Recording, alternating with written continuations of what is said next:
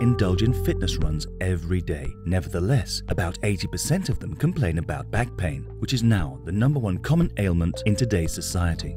In both our professional and private lives, we mostly move on hard, solid surfaces, unlike our ancestors who moved on forest floors and grass.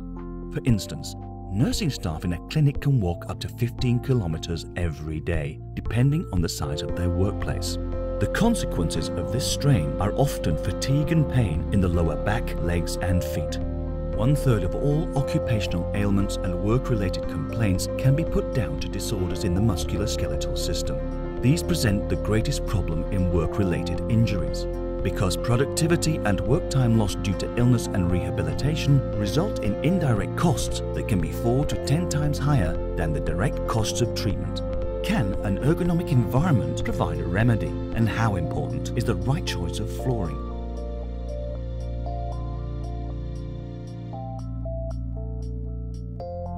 Sir Isaac Newton's third law states that forces always occur in pairs. When a body A exerts a force on another body B, the body B exerts a force of equal magnitude and opposition in the direction on body A.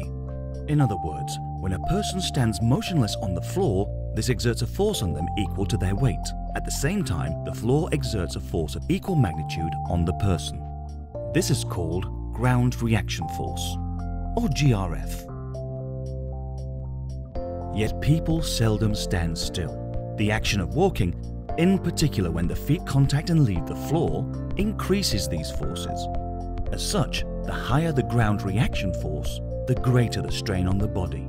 As a means to ease this strain, the shoe was invented, and a choice of floor covering which has the right dampening properties can improve a person's well-being dramatically.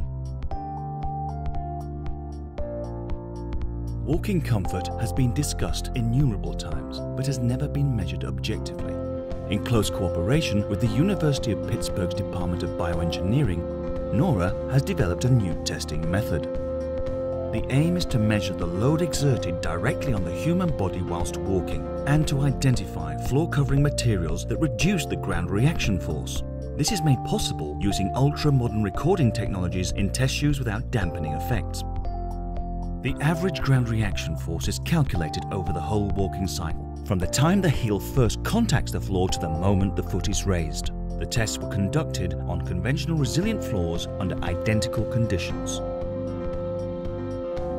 The test results show that the human body, whether walking or standing, is subjected to highly different loads depending on the type of flooring. The graph shows, after 50 test cycles, the average ground reaction force on the tested 2mm thick vinyl flooring was considerably higher than on noraplan's rubber flooring of the same thickness. The results confirm that the tested rubber flooring is considerably more conductive to an ergonomic, healthy environment than the tested linoleum and vinyl flooring. The reasons lie in the permanent resilience of Nora rubber floor coverings. On the one hand, the flooring dampens the initial impact of the foot, and on the other, supports the acceleration of the foot for the next step. In simple terms, strain on the human body is minimized when the floor covering is neither too hard nor too soft. The strain on the back and joints is eased noticeably, and as a consequence, fewer working hours are lost due to physical complaints, resulting in cost savings.